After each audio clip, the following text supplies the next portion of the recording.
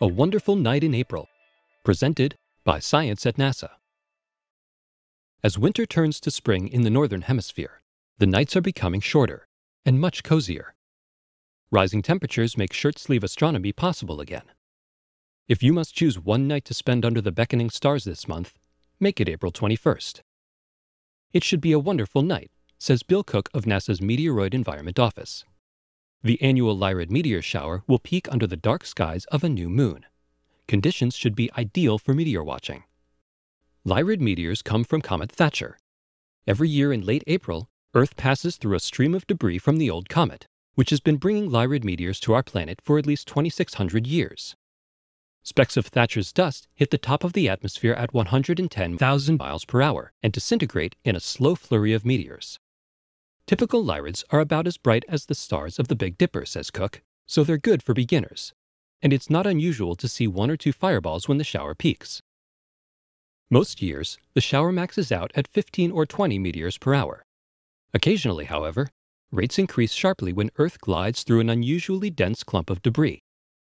In 1982, for instance, astronomers counted as many as 90 Lyrids per hour. An even more impressive outburst was documented in 1803 by a journalist in Virginia. The outburst alarmed many and astonished every person that beheld it.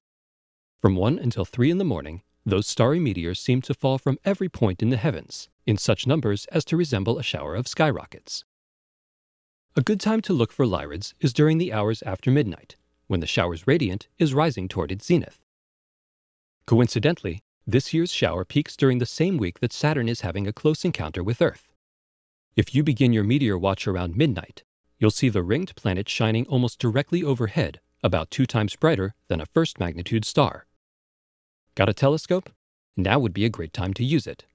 Even small department store models at low magnification provide a nice view of Saturn's rings.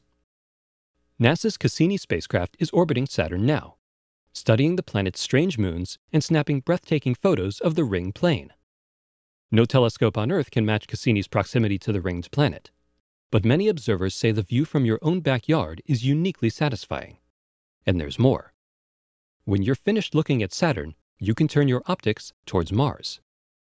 The red planet is also up at midnight on April 21st, and it's even brighter than Saturn. Backyard telescopes reveal a tiny burnt orange globe with a white cap of polar ice reflecting enough sunlight to see 81 million miles away. NASA's newest rover Curiosity is en route to Mars now, on a mission to hunt for signs of ancient life. You can tell your friends you saw Mars even before Curiosity did. April 21st has a lot to offer. For more news about wonders in the night sky, visit science.nasa.gov.